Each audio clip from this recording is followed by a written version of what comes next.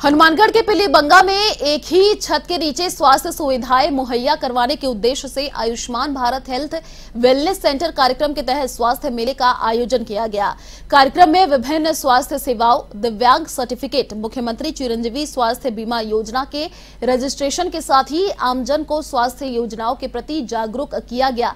वहीं CMHO doctor Navneet Sharma ने बताया कि ज़िले में 18 से 30 अप्रैल तक सभी पंचायत समितियों में स्वास्थ्य मेलों का आयोजन किया जा रहा है।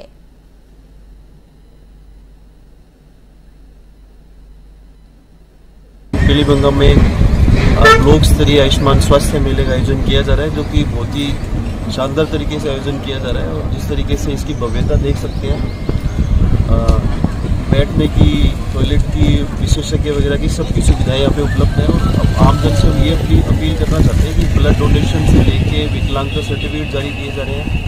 चिरंजीवी योजना के अंदर रजिस्ट्रेशन किया जा रहा है। एनसीडी की स्क्रीनिंग की जा रही है। तीस साल से ऊपर के जितने व्यक्ति हैं, वो अपनी कैंसर की ब्लड शुगर की, हाइपर बीपी की, सभी की स्क्रीनिंग करवा सकते हैं। इसका मुख्य उद्देश्य है आम जन तक जितने भी स्वास्थ्य विभाग जो भी योजनाएँ चलाई जा रही है सरकार की तरफ़ से, उनका आम जन तक लाभ पहुँचाने का उद्देश्य है। प्लस जो नॉन कम्युनिकेबल डिजीजेज हैं तीस साल से ऊपर के व्यक्तियों की स्क्रीनिंग करके और उनका डाटा अपलोड किया जाता है, ये हमारा मुख्य उद्देश्य है तो लाभ है, अपने कोविड वैक्सीनेशन की प्रिकॉशन डोज लगवा के लिया है।